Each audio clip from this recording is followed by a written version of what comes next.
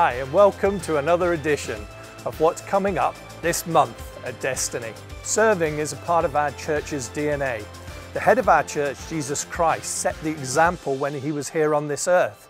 And there was a time, if you remember in Mark, when the disciples were arguing amongst them, who's the greatest? And Jesus told them quite clearly that anyone who wants to be the greatest among you must become the least and servant of all. It says quite clearly here in Ephesians 4 For his body has been formed in his image and is closely joined together and constantly connected. Every member has been given divine gifts to contribute to the growth of all. And these gifts operate effectively throughout the whole body when we are built up and made perfect in love. When everybody's contributing, the body is perfected and grows. There's one area of ministry we are needing people in, and that's stewarding. You know, stewarding is so important. They are the gatekeepers to the house. They are the people who ensure that that meeting runs in the way that God intended it to by inviting people in, by showing them to their chairs, by protecting the environment within the meeting, and by just making it safe. So let's sign up today.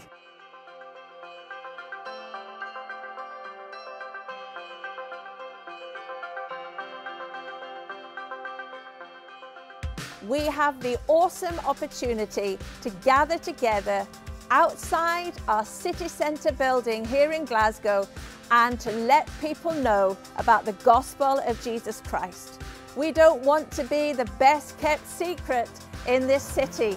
We want everyone to know that we're there for them, that they can come and join us, that we are family. They are just waiting to meet. So come and join us. It will be the end of a freshers week. There'll be lots of activity, lots of buzz, lots of things going on, and we need you and we want you to be there with us.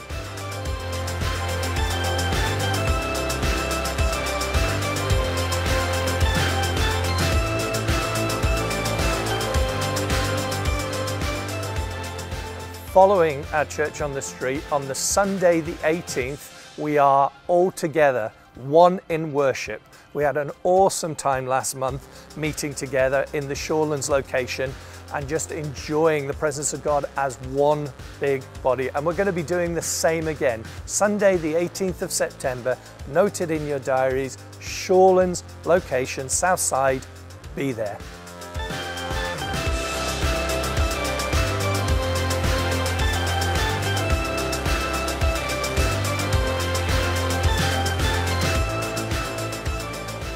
we have the exciting opportunity to meet together for our family forum.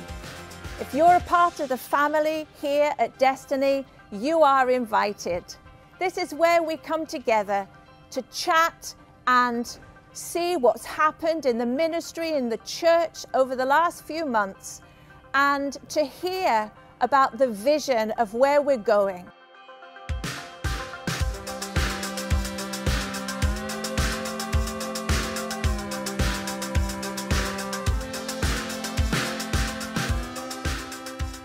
Sunday, the 25th of September, our According to the Pattern, which is our foundation teaching course on what Christianity is and who we are and what we believe as a church, starts. And we're welcoming you, if you've never done that course before, to sign up and attend. It's a fantastic time of fellowship. It's a time where you can speak to the leaders and hear exactly what we as a church believe.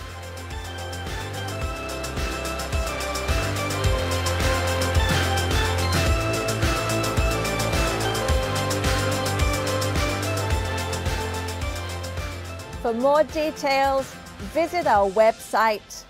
God bless you. We love you.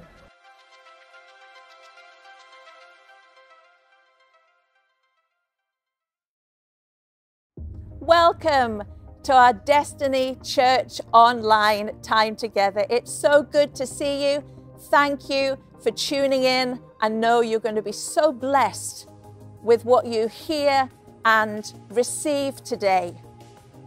As always, there will be leaders there online for you to personally connect with, receive encouragement from, prayer from, They're there right the way through to the end of our time together. In a few moments, we're going to turn to the Word, but first, let's join together, lift up the name of Jesus, and worship Him.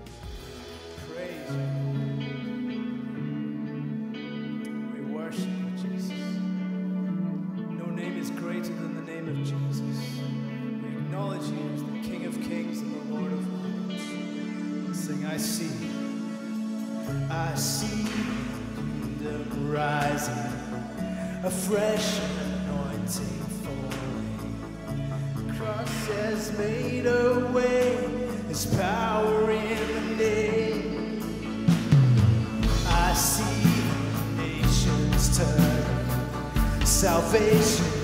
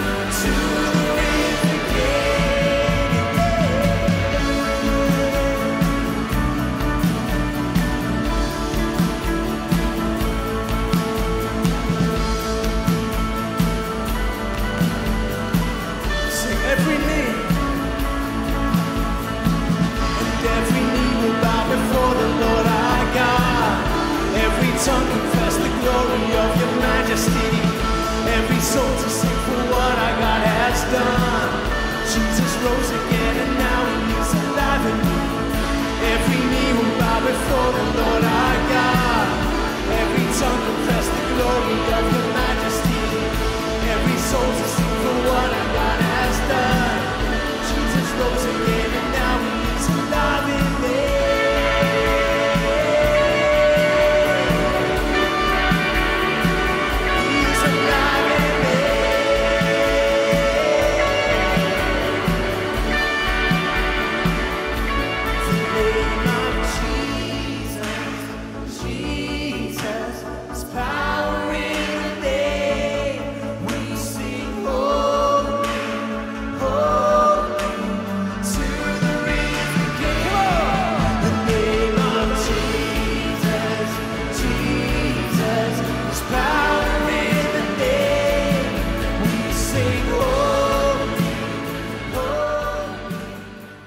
Hi, Sue here to pray with you today.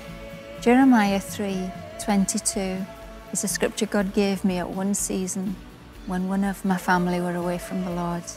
It literally says, Return all of you who have turned away from the Lord. He will heal you and make you faithful.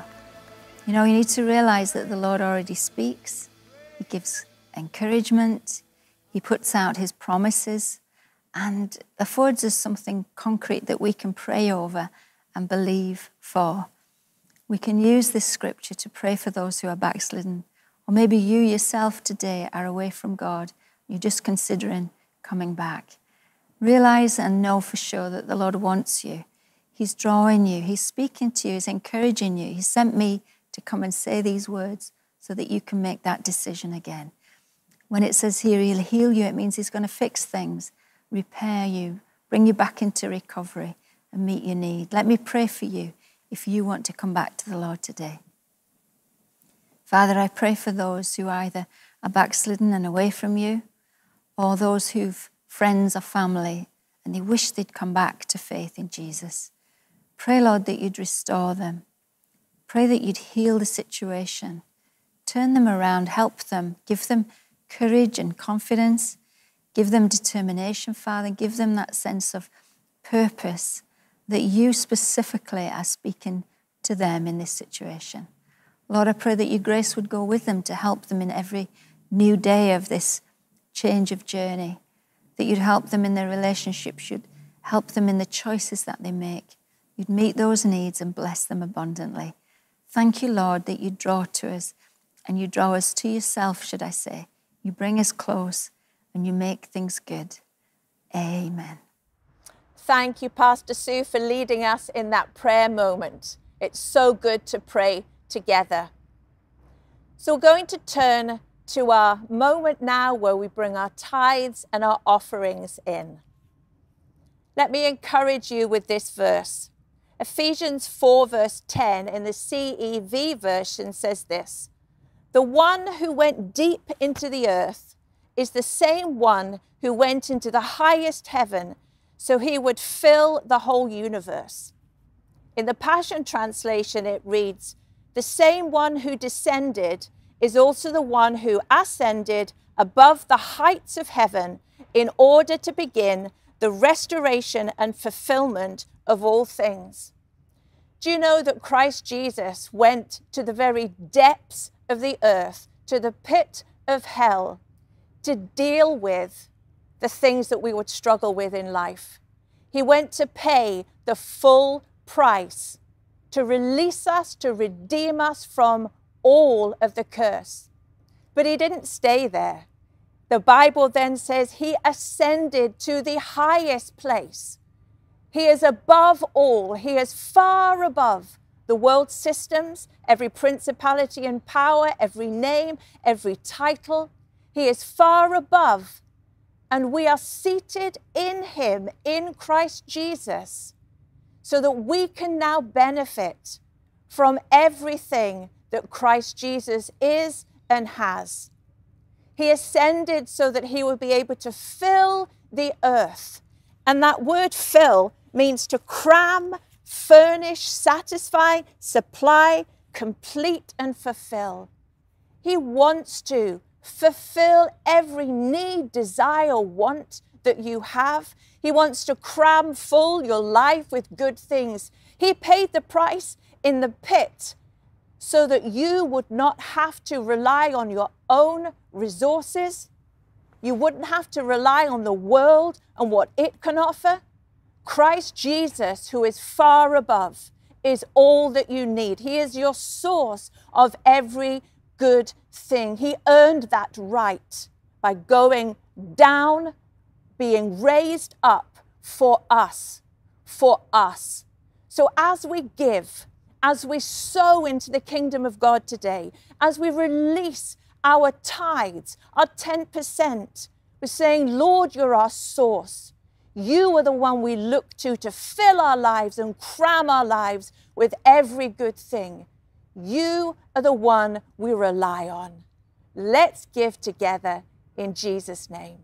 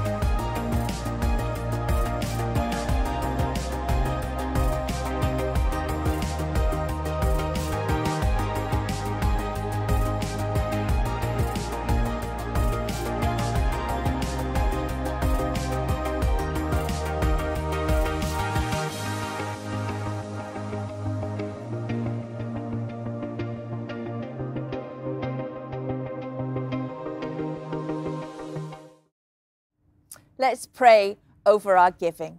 Father God, we thank you that we can trust you, rely on you, that you are so good to us. And Lord, as everyone has given, Lord, we bring this offering and these tithes before you. They're yours. Lord, we pray that they would be released into exactly where you want them to go. And Lord, for everyone that is given, Lord, would you bless them, increase them, multiply them, and meet every need far and above all they could think or imagine. That is the God that you are. In Jesus' name, amen. Now I'm going to read the scripture before Pastor Andrew comes with the word. And I'm reading from 2 Kings 6, verse 15 to 23 in the New American Standard. Now, when the attendant of the man of God had risen early and gone out, behold, an army with horses and chariots was circling the city. And his servant said to him, This is hopeless, my master. What are we to do? And he said, Do not be afraid, for those who are with us are greater than those who are with them. Then Elisha prayed and said, Lord, please open his eyes so that he may see. And the Lord opened the servant's eyes, and he saw, and behold, the mountain was full of horses and chariots of fire all around Elisha. And when they came down to him, Elisha prayed to the Lord and said, Please strike this people with blindness. So he struck them with blindness in accordance with the word of Elisha. Then Elisha said to them, This is not the way, nor is this the city. Follow me, and I will bring you to the man whom you seek. And he brought them to Samaria. When they had come into Samaria, Elisha said, Lord, open the eyes of these men, so that they may see. So the Lord opened their eyes, and they saw, and behold, they were in the midst of Samaria. Then the king of Israel, when he saw them, said to Elisha, My father, shall I kill them? Shall I kill them? But he answered, You shall not kill them. Would you kill those whom you have taken captive with your sword and your bow? Set bread and water before them, so that they may eat and drink and go to their master. So he provided a large feast for them, and when they had eaten and drunk, he sent them away and they went to their master, and the marauding bands of the Arameans did not come again into the land of Israel. Here's Pastor Andrew with the word.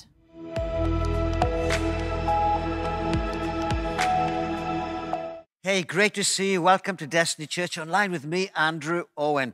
We're in the middle of an exciting series. I think it's a really important one, and we've called it Made in His Image. We're talking really about growing as a Christian. And some of the things we've pointed out is this that God is far more interested in what we are becoming than anything we might be doing. That's kind of opposite to the way the world thinks. The world often thinks about visions and goals, and all those things are great. But who am I? What am I? What am I becoming as we go forward? Romans tells us that God is committed to conform us to the image of his son, Jesus. And he is more concerned about our character than our comfort.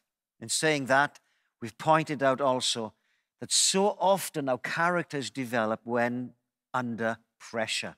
Just like a diamond is created when all the pressure of the earth crushes in on that carbon, out comes that beautiful diamond. Or just like a pearl inside an oyster is created when grit irritates it. It's in those pressures of life that who we really are what we really stand for, the things that we think really important, begin to surface and come out from us. And of course, God is refining us as the days go by that we are becoming more and more Christ like. Character is the only thing that can come from our lives by choice and cooperation with God. We cannot choose what people do towards us or say about us, but we can choose how we respond to that. And our desire is to become like Jesus, right? Today, we're talking about something really important love, a love worth finding. Love, of course, is the essence of the Christian life. Every Christian knows that. The challenge is that we're living in a world where that word love can mean so many diverse things. We use it so glibly when we say, I love chocolate, I love that movie, I love going to that place. Sometimes we, we use it more intentionally when we talk about, I love that person, or I fall in love, or I love her, or love him. But when we come to the biblical Christian God understanding of love, it is something entirely different. I love the story that we've had read to us today from Kings. It's about love in action. Great story. How an enemy is fighting Israel, and the prophet hears God and gives secret information to the king of Israel to help him. And the story tells us that through providence and divine intervention, the enemy is captured after a moment of blindness. And of course, the king of Israel could have wiped him out. Instead, the prophet says, Bless them, give them food, give them a feast, and send them on their way. And that's exactly what's happened. And then we read that that enemy disappeared, at least for a season. Love is very, very powerful. But what does the Bible actually mean when it's talking about love or the love of God? I promise you, it's nothing like the love we talk about in the world. Maybe even as we discuss today, you're going to see something new in this. First of all, just to point this out, we're talking, speaking, preaching in English today. Most of us are English speakers. The English language, actually, although it's quite rich, is not as rich as some others. And the New Testament, as you're very aware, was written in Greek. It was actually written in common Greek. But the word that's used for love in the New Testament isn't really available, translatable directly into English. We just have that one word, love. There were at least four words, four Greek words for love uh, in those days when the New Testament was written. They were as follows there was the word eros. That love was mainly speaking about a love between two people, often referred to as a kind of a sexual love. Sometimes it was used for a love that a person had for a country, like patriotism. But the interesting thing is this that word eros was never used in the Bible, it was never introduced into the vocabulary of God's word. There was another word for love. I think it's pronounced storge. And it was a kind of familiar love. You know, it's the kind of idea where we sometimes say blood is thicker than water, the love of a family or a community that is tied intrinsically one with another. We could say it's kind of a tribal love. You, we could say it's a, you know, it's a love that has an obligation. You've just got to love and stand by that person. Again, that is a word that's never used in the Bible. We then come across a third word for love, philia or phileo. And that's a beautiful word, actually. It means brotherly love, true friends. It's a word that contains affection. You've grown fond of someone.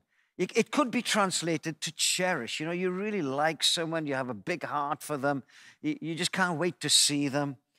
Um, it's a warm love, it, it, comes from your heart, it's, uh, it's reaching towards people. And this word is actually found in the Bible. It speaks about showing brotherly love one to another. Be warm to one another. Engage with one another. Share food with one another. It's actually the same word that was used when it says that Jesus loved Lazarus. He filied Lazarus. He just had a lot of affection for him. But the word that is commonly used in the New Testament is the word agape. And although it's not exclusively a biblical word, you can find it in other Greek literature. Predominantly, its setting is the Bible, and its home is God, and its conversation is in the church. It's where we find that most famous verse in the Bible, John 3:16, for God so agaped, for God so loved the world that he gave his only begotten Son, that whoever believes in him will not perish. What is, what is this love? In fact, John himself asked the same question. In 1 John 3 1, he said, Behold, what kind of love is this that the Father has bestowed upon us, that we should be called the sons of God? So let's take a moment to look at this love, to maybe dissect it and analyze it a little and to see how profound it is and how it can impact our lives and our community. Here's the first thing that might shock you agape love does not start in the heart. It doesn't start with emotion, it doesn't start with feelings, and it doesn't even start with affection. This word agape or agape love actually starts in the head, or better still, in the mind. In other words, it's primarily not an emotion, it's primarily not a feeling, and it's primarily not a sentiment. But Watch this agape love is a choice and it's a decision. And it's the principle by which God lives. So much so, the Bible says that He is love. God is love. And so, when the Bible speaks about love, agape love, it is not in the first place talking about affection or emotion or heartfelt things. It's actually talking about a decision that has been made, a choice that has been arrived at. God chose to love us.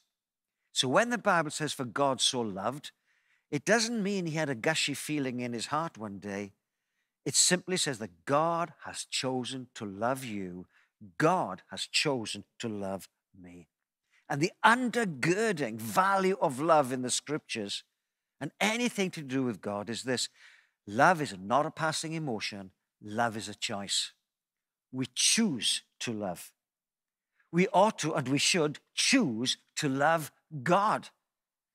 The Bible tells us that we should love God with all our souls, all our hearts, all our strength, all our mind. He created us. We choose to love one another. We choose to love our neighbors. We even choose to love our enemies, which does not come natural to any human being.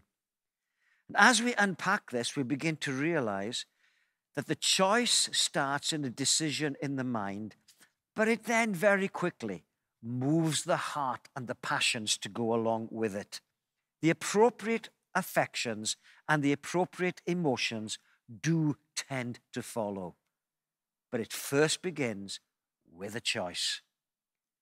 As we unpack this concept of love, we realize it's actually hugely sacrificial and costly because God chose to love us with nothing expected in return. It's easy to love someone when you know you can get something back, right? It's a mutual agreement, a mutual arrangement for the benefit of both. Some people view marriage in that way. But when God chose to love you, He saw you, He knows your name, He knows your situation, He knows your circumstance, and He's chosen to love you regardless of who you are or what you have done. It's also a love that is not self seeking. God hasn't loved us because for some reason he needs us. He's complete in himself. And here's the thing that I value perhaps the most about God's love it's a deep, unending commitment. Jesus, on one occasion, said that he would never leave us nor forsake us. God will never leave us. God has made commitment. There's a stronger word in the scriptures, it's covenant covenant love. And the Old Testament word was chesed, God's loving kindness. His covenant love is a choice He's made, He's committed to it, He's standing by it, and He's working it towards you and to me. And so, as we begin to think, wait a minute, if this kind of love is a choice and not a feeling primarily, there's some things we need to understand about this love. First thing is this this kind of love this kind of choice, this agape, is the basis for all relationships. In fact, it's the basis for the relationship within God Himself. God exists in Trinity God the Father, God the Son, God the Holy Spirit, one God in three personalities. But when we read the scriptures, we find things like this God loves the Son by choice and agape. In John 17, 24, Jesus said this You loved me, you agaped me before the foundation of the world. And the Son, Jesus loves the Father in such a fashion. We read from the same chapter. For God, but so that the world may know that I love the Father. And it's the same kind of love that God in His Trinity is loving us with. It's the basis for the relationship in God's existence. That's why the Bible says God is love. Then we discover that this love, whilst being offered, must be received. You see, God loved the world, not just my part in it or my part of it, or my clan, or my race, or my people, or in this place at this time. God loved the world. He loves everybody within it. God's love is on offer to all. He has chosen to love, but that love has to find a landing strip. It has to be received. And the thing is this so often when we have a conversation about love of any kind, it's always focused through the lenses of our own experience. We can say that God is a loving father, but if you've never known a loving father, that lens will affect the way that you see that. So many people reject love that comes towards them. We had a situation around the church here at one time. There was a man who came to know Jesus in prison. He'd been there for many years, 15 years, I think, for a very serious crime. He came to know Jesus in prison. And as the time came for him to be released, the chaplain who was encouraging him said, Now, you must go and find a church to support you, encourage you. So he came out and found a regular church. He sat in a pew one day and began to talk to people, and they began to hear his story. The only thing was that the ladies sitting next to him began to pick up their handbags and move up the pew. He found himself isolated. He never found himself invited to anybody's home, so he attended a community but never became part of the community. He did this several times with several different churches, and he got really fed up with church. One day he prays to the Lord and he says, I don't think much about your church. I can't find much love in it. But he felt the Holy Spirit pressing him to keep persevering. So one day he turned up at our church. And as he turned up at the church, he decided he was going to make it a known fact from the moment he stepped in that he was out of prison, and if they were going to reject him, they could reject him right there. So he says to the steward on the door, Hi, my name is, and I found Jesus in prison. And the steward on the door said, What was he in for? And of course, this young man then realized maybe this is a place that I could find a spiritual home in, as he smiled at that sense of humor. But we have to accept that love. We have to receive that love. And no matter how difficult or tough, love, uh, tough life has been for you, God loves you with a committed decision. Regardless of where you've been or what's been done to you or what you've done, God loves you and He wants you to receive that love. Then, this love, this agape love, must be imbibed. What do I mean by that? It has to find a home within us. You see, Sometimes, and even in a conversation like this, we say, look, as a Christian, we've got to love like God loves. But the truth is this it's actually impossible. We can't love like God loves, but this is what God does. He comes to live in us by the Holy Spirit, and then it's His love in us that shines through. Paul said two things in Corinthians. On one occasion, he said, The love of Christ compels us. I can't stop telling people about Jesus. And on another occasion, he said the love of Christ constrains us from behaving in a, in a fashion that offends people. It constrains us. How is that possible? The love of Christ has taken resident, residence in our heart by the Spirit of God. And then the love of God, the agape love of God, must be walked. So if it's in us and it's trying to come through us, how do we walk it? And where do we walk it? And with whom do we walk it? Well, the, the Bible makes it clear that there are multiple levels at which this love must be walked. Firstly, I must receive it to me and walk in it towards me. We read in Jude, only one chapter in that book, verse 21 keep yourself in God's love as you wait for the mercy of our Lord Jesus Christ to bring you to eternal life. Keep yourself in the love of God. You know, the devil's a bad devil, and one of his biggest tricks on us as Christians is to pour in condemnation. You're useless. You're not making it. You're nothing like Jesus. You just keep messing up. Nothing's going to happen for you. God's not going to answer your prayers. Why should He do something for you? But you know, the Bible says, keep yourself in the love of God. You know, God is for me. He chose to love me. He made a choice. And as He's made that choice, He made that choice with not depending upon anything that I do or don't do. I'm going to believe His promises that they were given to me because of love. I'm going to believe His word because it's rooted in His love. I'm going to believe He's with me. I'm going to keep walking in the love of God into everything that He has for me. Then that love must be walked in what the Bible calls the brotherhood, meaning the church community. In 1 Peter 2:17 it says, "Respect everyone. Love the family of believers." Or love the brotherhood, one translation says. Fear God and respect the king, bearing in mind that love, agape, is a choice. Then I come into a community of believers. And if your community of believers is like our community of believers, it's diverse, right? There's all kinds of people in the church. At the last count, here there was something like 70 different nationalities, all kinds of social, economic groups, all kinds of experiences, all kinds of abilities, all kinds of stories. Some people are like me, some people are nothing like me. But you know what the Bible says? Agape is a choice. I choose to love the brotherhood. I choose to love that church and everybody inside it. It's not a question of whether I feel like it or don't feel like it. It's a choice that God's made to me and I then make in return. And you know what? It's a covenant love. And if I'm becoming like Christ, I'm continually making that choice. The Bible then says, watch this, that that love of God inside me needs to be extended to my family. I know we all get married, right? Because we say we love one another. I'm grateful that I've been married to Sue now 41 years. Some friends of ours recently celebrated their golden wedding, 50 years of loving each other. But all too often, that isn't the case in the world, is it?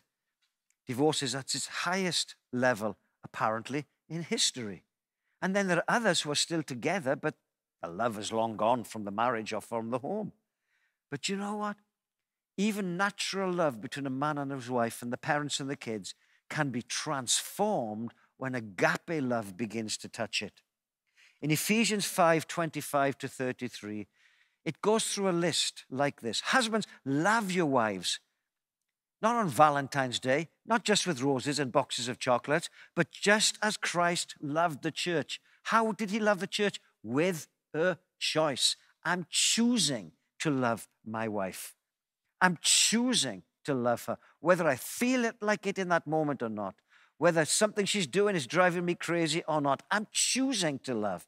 And then it works through about parents loving kids and kids loving parents. It's a great passage to read, but it's talking about the love of God. Is agape love in your marriage? Is agape love in your parenting? Not just philia, not just natural, not just tribal, not just family, agape love. If it is, that family is enhanced. The husband leads the home with spiritual authority, looking for God's blessing into his wife and into his kids. The wife will submit to her husband and listen to him and not think that submission is a dirty word, but it's a great privilege to be a partnership together. The parents will love their kids and not exasperate them, but encourage them to grow in the things of God. And the, and the kids in return will respect their parents, even if they don't agree with what they are saying or think that they're 100 years out of date. Agape love changes homes, it changes families. And sometimes as Christians, we simply live at philia level when God wants us to live at agape level. And don't forget what our key point is today God's love is a choice. Then the Bible says we had to love our neighborhood. Honor your father and your mother, and you shall love your neighbor as yourself. Matthew 19 19 says. Your neighbor is anyone who is in need around you. And boy, there is so much need today. You can't go a day without meeting somebody like that. And how about this one? Even love your enemies. This is what Jesus said in Matthew 5 43. Love your enemies. Bless them that curse you. Do good to them that hate you, and pray for them which despitefully use you and persecute you. What does it mean to love your enemy? Well, it at least means the following don't retaliate. And social media is full of retaliation. I hate you, and I'm going to hate you back. I'm going to trash you, and I'm going to trash you back. I'm going to slander you, I'm going to slander you back. Whatever they say or do, the Bible says, do not retaliate. It even goes further when it talks about loving our enemies. It means do them no harm,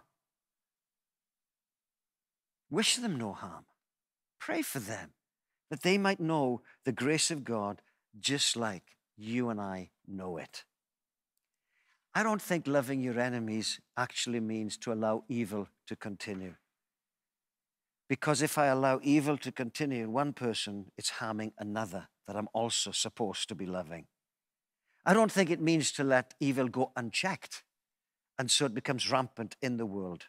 You know the famous adage or saying, all that's needed for evil to prevail is for good men to do nothing. And so love sometimes motivates an action against evil things. So I don't think loving your enemy means let anything go. But when it comes to a personal response from my personal heart, it must mean there's no hatred. I'm not bitter. I'm not envious or covetous towards you. I'm, I'm just trying my best with God's love inside me to love you going forward. And then finally, today, if the love is to permeate those areas, it must also be lived out. How is this love lived out? There's a few things the Bible points out for us. Love, if it's God's love, if it's agape love, will always love truth. In Ephesians 4:15 we read, instead, speaking the truth in love, we will grow to become in every respect the mature body of him who is the head, that is Christ. You see, love doesn't get involved with the darkness of deceit, the slanderous accusations, the lies and the things which are not true. It loves the truth. Jesus, on one occasion, said, I am the truth, the way, and the life. Love also, when it's lived out, will hold Christians together. You know, church splits are horrendous. But if we loved, we wouldn't walk away.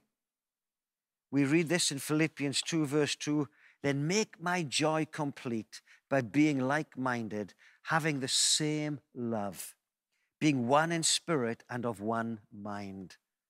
You see, agape is a choice. I have to choose to not walk away, just to keep standing in that relationship. If love is to be lived, love also, watch this, controls liberties. There might be all kinds of things that you feel totally at liberty in doing, but on occasion, some of the things we might be doing, we feel totally free about, but to others, they can get offended by it. Some Christians drink alcohol, some do not. Some Christians eat pork, some do not. Some Christians keep one Sabbath day very holy and very special and really set apart, some do not. I may be feeling free in all of the above, but if I'm fellowshipping with a Christian who has something that's important to him, I can contain and curtail my liberty for their benefit and for their sake. Love also, watch this, and this might apply to you particularly today. It gives you the right to ask another Christian for help. In Philemon, only one chapter in that book as well, and in verse 9, Paul, who wrote it, is asking for help. Actually, not for himself, but for a runaway slave. A runaway slave he met whilst in prison. And this runaway slave became a Christian. Paul's encouraged him to go back to his master, who's also a Christian. And Paul's writing to his master and saying, Look, actually, I've blessed you. You've come to know Jesus because of me. Your home's been blessed. I'm sending this guy back to you. Bless him and receive him, not just as a slave, but as a brother in Christ. And you know, the Christian family with love sometimes means, could you help me help him? We have a huge need in India right now. Could you help me help them, the orphans and the orphanages and the pastors? We have a need in some parts of this city. Could you help me help them? That's how love works. And then as we wrap up today, that love, this agape love, this choice has to be focused in the right direction because it is possible to have agape love, but it locks in to the wrong thing. See, if agape love is primarily a choice that is then followed by affections, I could actually choose to love the wrong thing, and my affections will soon follow. Jesus told us, Love not the world. What does that mean to love the world?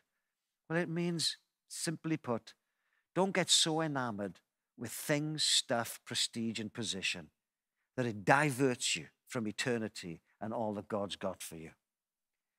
There were certain Pharisees that came to be followers of Jesus as he walked this earth, but they became secret disciples because John writes and tells us that they loved the praises of men more than the praises of God.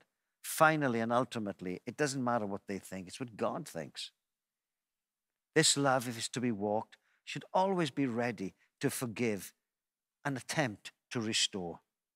And this love is also the motivation for anything in faith. You know, we should live by faith, believing God, trusting God, standing on those promises. But love and faith are twins that walk together. That love causes growth in the Christian. What I want you to see above everything else today is this that when God talks about love, it isn't an emotion, it isn't what you feel, it isn't simply what you like, it isn't simply who we get along with or what conveniently suits us. It's a choice. And God chose to love us at great expense by sending his precious and only Son, Jesus. If we love God, we will love what God loves, and he loves his Son passionately. Do we love Jesus too? God loves the church passionately. Do we love the church as well? God loves lost humanity. Do we love lost humanity? You know, when the love of God is touching our hearts, the fear of God is right alongside it, surprising as that may sound. Let me just conclude with two quick stories. I have a friend who I haven't seen for quite some time, I have to admit, Stanley Ndovie, a powerful pastor in Malawi. Before he became a Christian, he almost died. He was bitten by a black mamba snake, which is deadly. And once you're bitten, you're dead. There's no hope for you. He was bitten by the snake. He was close to a hospital and they rushed him into a hospital, but his body was already closing down and he was going into paralysis. He was dying. His mother was a Christian and prayed for him. As he lay there, expecting any moment to die, the doctors around him expecting him to die, he just didn't die. And the hours went by, then a few days, and he began to recover and made a full recovery. He got healed from a deadly snake bite. You would think he'd be jumping up and down, celebrating and rejoicing. His story is that it suddenly dawned on him that if God could save his life, God could take his life, and the fear of God came on him. The outcome is that he came to know Jesus, recognized his sin, and accepted Christ as his Savior, and has become a powerful ministry for the gospel. Likewise, my late friend Peter Pretorius, his story to faith tells us that he was a, a God cursing, Bible hating, world living man. And his dad, who he loved passionately, had a heart attack and was at death's door on life support and about to die. He realized there was no hope for his dad, so the doctors had said, and he remembered he had a Christian cousin. He phones this cousin and said, Pray for my dad. The cousin does, and remarkably, dad makes a full recovery. Peter had the same experience as Stanley. If God can save life, God can take life. And the fear of God came on him. He encountered the love of God, but at the same time, he encountered the fear of God. And he handed his life over to Jesus and lived a most remarkable life, affecting millions and millions of people. You see, God made a choice to love us because the consequences of not being loved or responding to that love have eternal, catastrophic results. But when we respond to that love and realize God loved us, which was nothing to do with us, we are saved and come into God's family. This conversation is really important. And I'm praying that God, by His Holy Spirit, will give both you and me revelation on it. Maybe today you need to know Christ for yourself. Maybe you don't know that love intimately, personally. You don't know what it is to be a part of God's family, saved from your sins on your way to heaven with Jesus as your Lord and Savior. I'm asking you right now, is that something you would like? Come on. If it is, would you stop a moment and pray with me? Would you do that? God is right there with you, wherever you may be. You may be the other side of the planet. You may be listening in time, or you may be listening on demand. But I want to tell you that God's right there with you. I'm going to pray a prayer. Would you reach out and grab this prayer and make it your own? Make it your own prayer. Ready? Heavenly Father, I thank you that you love me. You chose to love me. It was a choice that you made. And I am so responding to that love today. I believe that Jesus died on the cross for me. Would you come into my heart? Forgive me for my sins. Bring me into your family and into your eternal home. Fill me with your Holy Spirit. Transform me and change me by your Spirit. Teach me to walk in your word and your ways. Lead me from this point forward. I thank you that when I pray like this, you hear me. Amen. Listen, if you pray that prayer or reaching out and grabbing it, we'd like to help you. We have some folks online today who'd be ready just to be there and chat with you. And you can click on the tab which says request prayer if you're on the church online platform. If you're on YouTube or Facebook, get on the link. Somebody will be right there with you. Or if you're watching on demand later, drop us a line. We'll be right back in touch with you. We'll talk a bit more about this next time. I'm praying for you. Don't forget, don't forget, if you do have a need, you reach out and say, Can you help me? Here's a praying for you email address on the screen. Drop us a line and we'll get right on it. Until next time, God bless.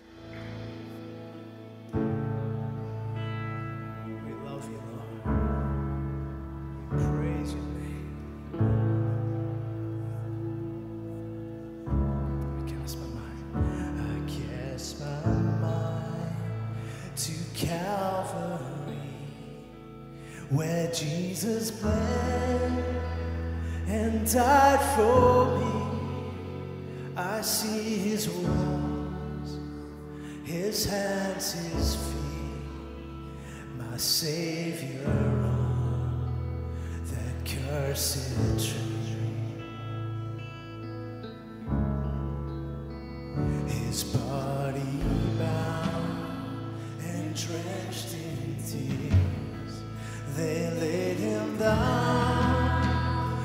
Joseph's tomb, the entrance sealed by heavy stone, Messiah still and alone.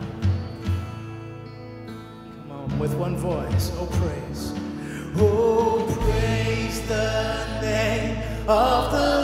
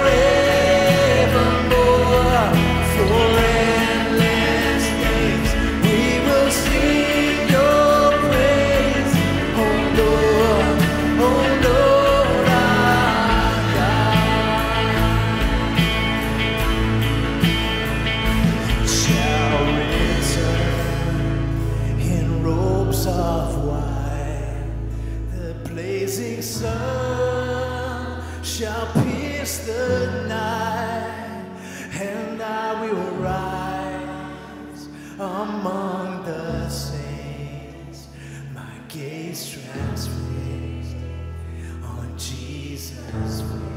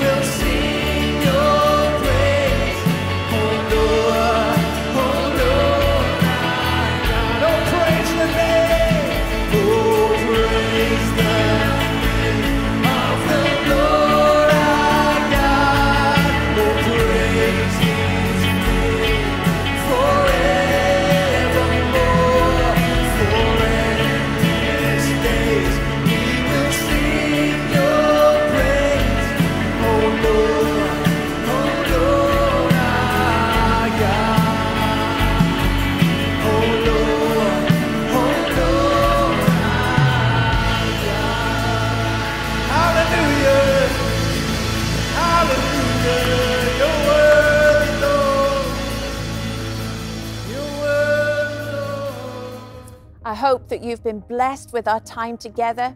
If you've responded for salvation, please connect with the leaders that are online right now just for you, and they'll help you take your next steps. If you would like prayer or encouragement, again, please connect in the way that's shown there for the leaders to chat with you. Have a wonderful week. We do things all week long here at Destiny. Check out the website and it will show you how you can be involved. Have a very blessed week. We love you. See you again soon.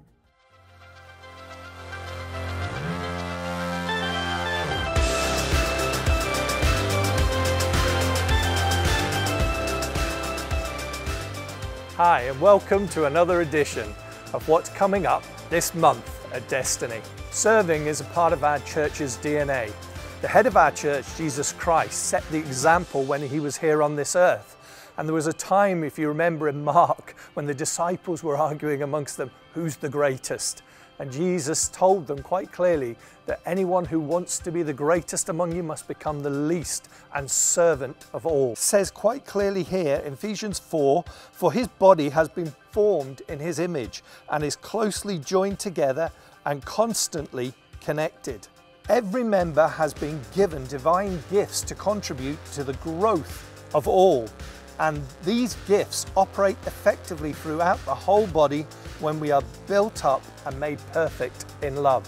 When everybody's contributing, the body is perfected and grows. There's one area of ministry we are needing people in, and that's stewarding. You know, stewarding is so important. They are the gatekeepers to the house. They are the people who ensure that that meeting runs in the way that God intended it to by inviting people in, by showing them to their chairs, by protecting the environment within the meeting, and by just making it safe. So let's sign up today.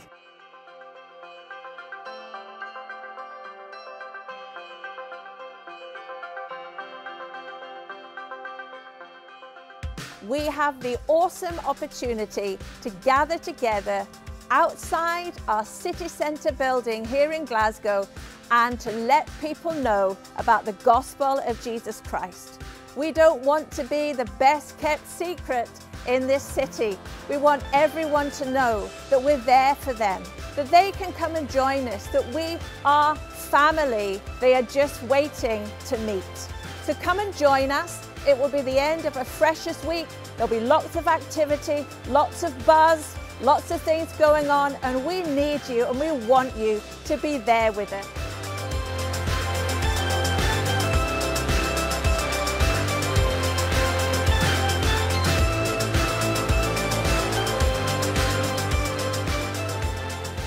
Following our church on the street, on the Sunday the 18th, we are all together, one in worship.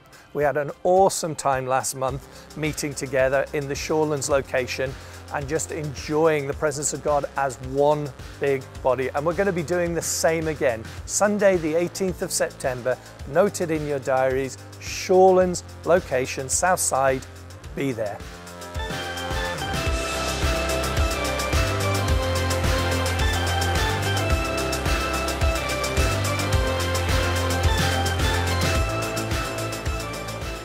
Have the exciting opportunity to meet together for our family forum. If you're a part of the family here at Destiny, you are invited. This is where we come together to chat and see what's happened in the ministry, in the church over the last few months, and to hear about the vision of where we're going.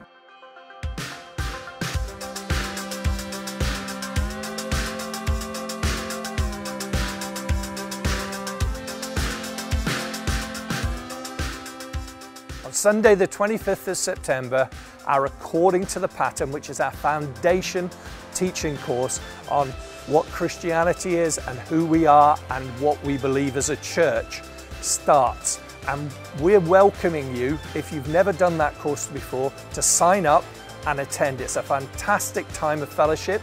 It's a time where you can speak to the leaders and hear exactly what we as a church believe.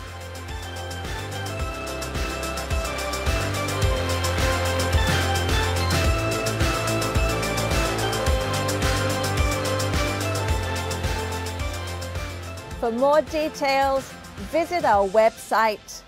God bless you. We love you.